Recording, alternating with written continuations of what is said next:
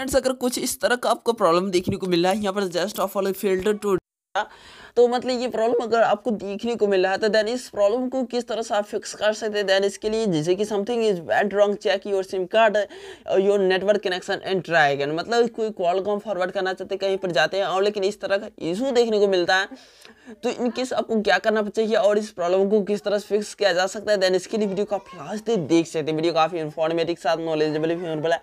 तो first of all यहाँ पर ओके कर देना। ओके करने के बाद आपको बैक करना है। बैक करने के बाद आपको सेटिंग्स माना है। सेटिंग्स मारने के बाद आपको सिंपली कुछ भी नहीं करना अपने को कनेक्शन सेटिंग्स में चले आना है। कनेक्शन में आने के बाद आपको मोबाइल नेटवर्क में आना है। देन उसके बाद आपका वाई डिफ़ॉल्ट जो नेटवर्क हो, उसे सेलेक्ट कर लेना। अगर फोर हो तो फोर जी सेलेक्ट कर लेना। देन एक्सेस पॉइंट में आना एक्सेस पॉइंट में आने के बाद आपको यहाँ पर रेस्ट और डिफ़ॉल्ट पर क्लिक करना है। इस तरह से डिफ़ॉल्ट कर देना है। सिलेक्ट कर लेना। देन ये सब करने के बाद आपका नेटवर्क प्रॉपर होनी चाहिए। उसके बाद आपको फ्लैट मोड में एक बार फ़ोन को डालना है। जस्ट एक बार फ्लैट मोड में डालना है देन फ्लैट मोड में डालने के बाद आपको जस्ट ऑफ़ ऑल यहाँ पर थोड़ा सा टाइम लेना है, और ये फ्लैट मोड में इनेबल कर दिया जाएगा। इनेबल करने के बाद फिर से आपको डिजेबल करना है।